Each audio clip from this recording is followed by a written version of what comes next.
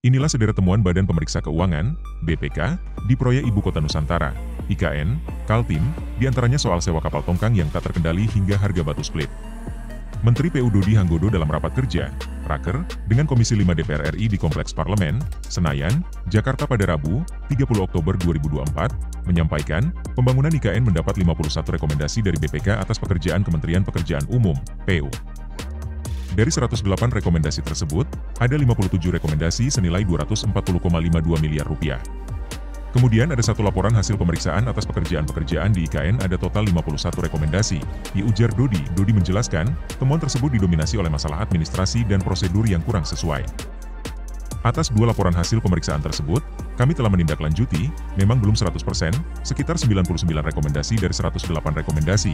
Jelanjut Dodi, adapun dari 99 rekomendasi tersebut, sebanyak 53 di antaranya memiliki nilai 229,23 miliar rupiah dan 46 rekomendasi sisanya adalah atas pekerjaan Kementerian PU untuk IKN. Dengan demikian, dari 99 yang telah kami tindak lanjuti, 17 telah diterima oleh BPK, sedangkan 82 rekomendasi masih ditelah ulang oleh BPK, diucap Dodi, seperti dilansir kompas.com. Sebelumnya, pasokan material konstruksi menjadi salah satu masalah yang ditemukan oleh BPK untuk proyek IKN. Hal itu tersaji di dalam dokumen BPK berjudul Ikhtisar Hasil Pemeriksaan Semester, IHPS, 2 tahun 2023 yang penerbitannya ditandatangani pada 28 Maret 2024.